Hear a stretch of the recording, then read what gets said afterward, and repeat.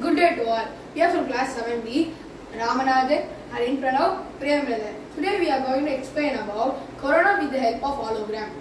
to provide basic knowledge of corona corona to present in control measures and to prevent the spread of corona in the society through hologram Materials required cardboard, glue gun, glue stick, glass 2 meters, color paper, Fevikwik.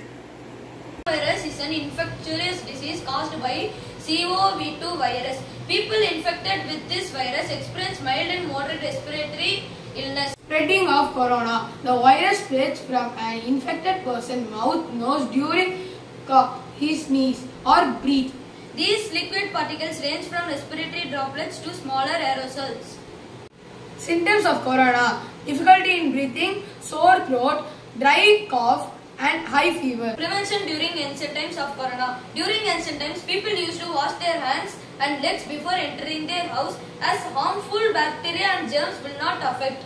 Now, harmful bacteria and viruses like corona can be prevented by wearing mask, using sanitizer and cleaning our hands using sanitizer and wearing mask. Thank Conclusion If we do not prevent corona using mask, sanitizer, or cleaning our hands and legs with the soap, the corona can easily kill or harm us.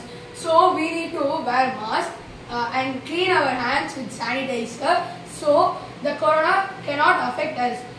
Thank you.